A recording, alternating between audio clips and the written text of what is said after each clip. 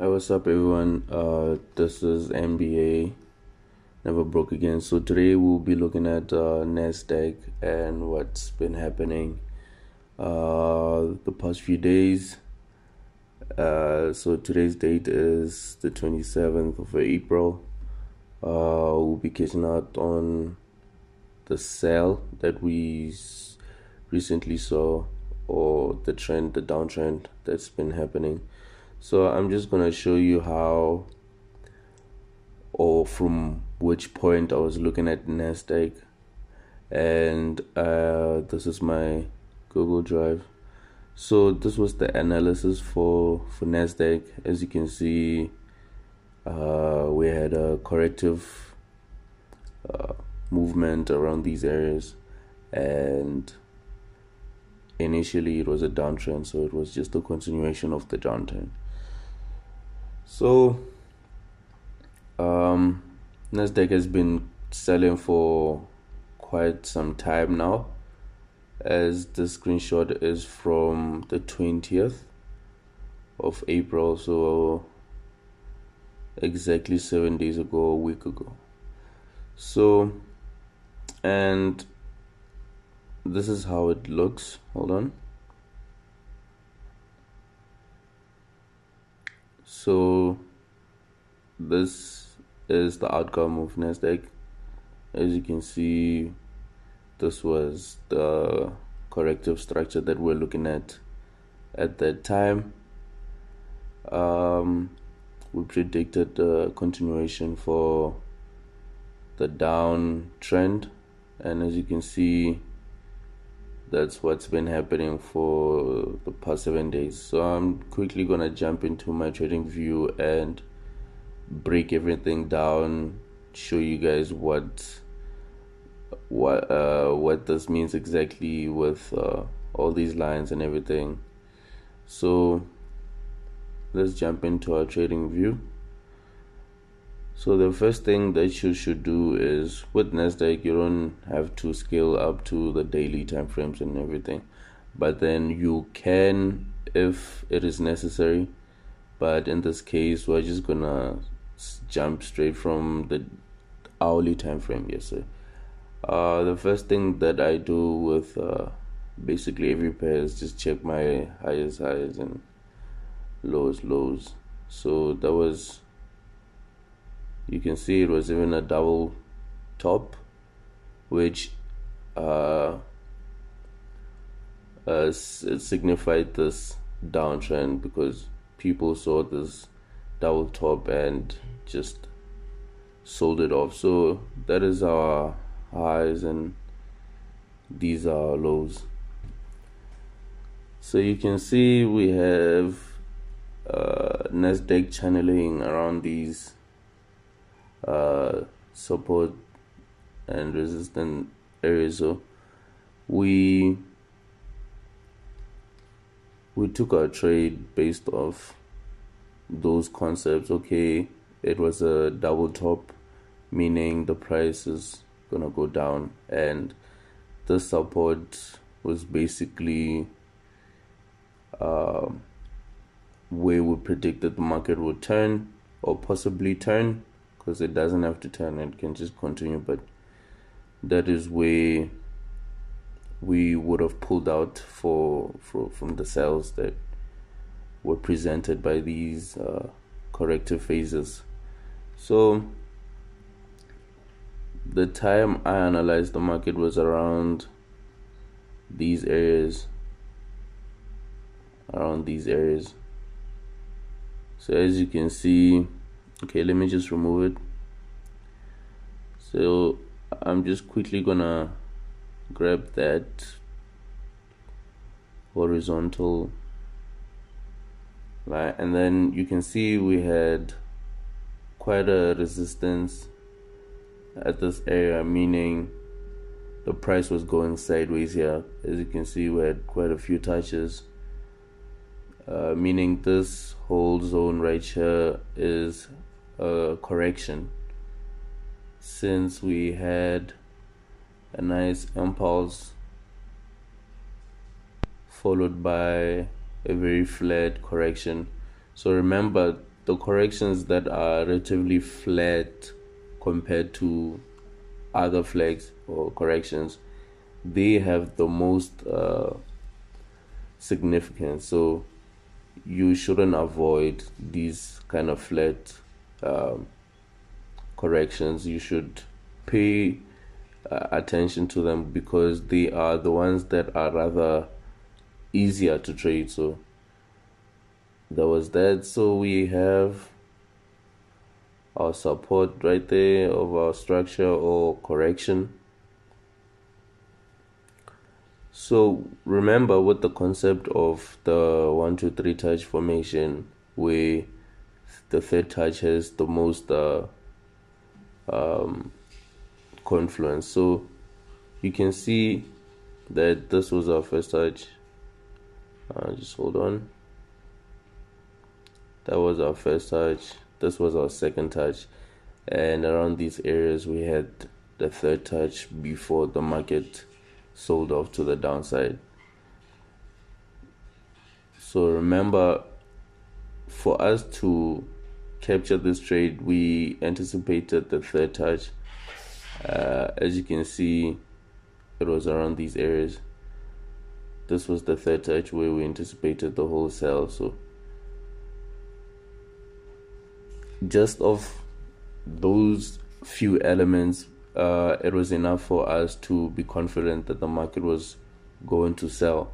But at that point we still had like to wait for confirmations and and so on. So uh, we can scale down to the 30 minute time frame. And you can see we had the structure right here. And just like that. So you can see once the price got to the third touch of this main uh, corrective structure you had another series of uh, three touches within the smaller structure, which was the first touch right here, second touch, and the third one. So just look at what the third touch presented. It presented a nice uh, rejection bar.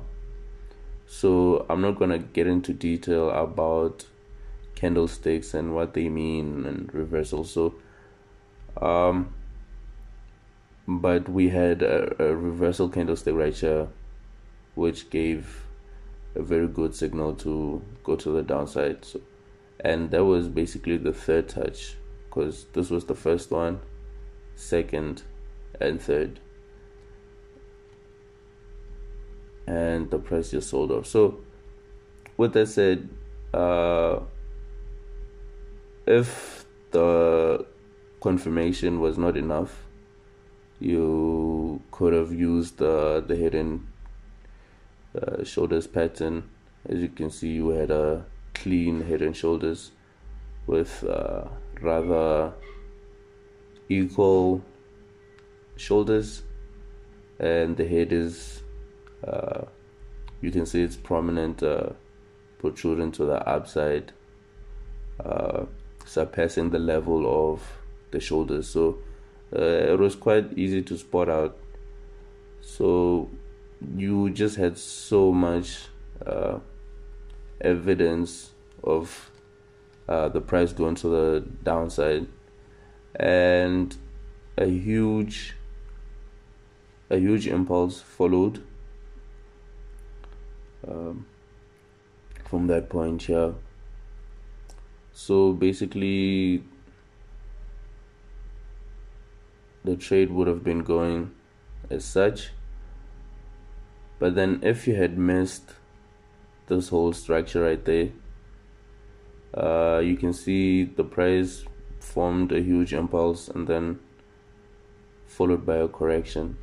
So that correction was basically a second entry for for Nasdaq. So you can see you had um, significant uh, touches. So you can scale down to the 15 minute time frame. So about indices you can really use small time frames without even worrying about how uh, much significance they hold because uh, even if you're in like the five minute time frame uh, your structure will probably still be uh, valid. So you had this correction here but then with the second touch, uh, second entries you must really pay uh, attention because now your scale of uh, profit is very limited as compared to you entering back up there which you double the scale now and the price will never go back to this uh, entry point because that was the initial one, which means it's the safest one. Uh, so the price had to fully develop and finish the whole uh, trade for you to uh, okay now the trade is completed and um, I can close it without even worrying about stop losses or whatever. But then once you miss the initial one and take the second one, you can see the price really tried to go back to your entry as it bought until these areas which was very close to to your entry but then I'm pretty sure if you had like said if you was uh, trailing your trade, uh, you would have been kicked out uh, with decent profits though. So you can see the initial trade is the most important one because now you are not in danger of being kicked out even if you're like stop trailing and stuff. Um, so that was the whole trade with uh, Nasdaq. Um, it was not very complicated. This is what I like about this trade specifically because it was easily uh, well put out and because usually Nasdaq it doesn't have such solid structures.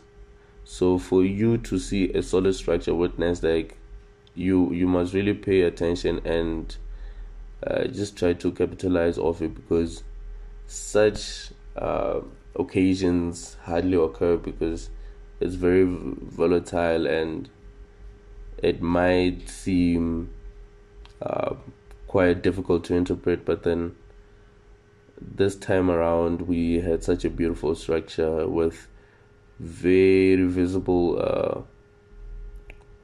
corrections.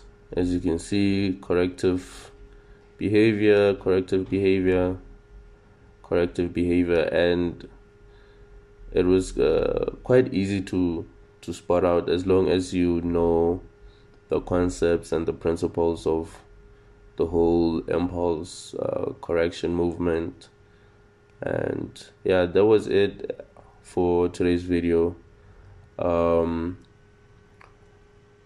regarding USDT it also moved similar similar in in a way I think. But I was really paying close attention to Nasdaq. So uh, that is it for today's video. Make sure you like subscribe uh, tune in. We just reached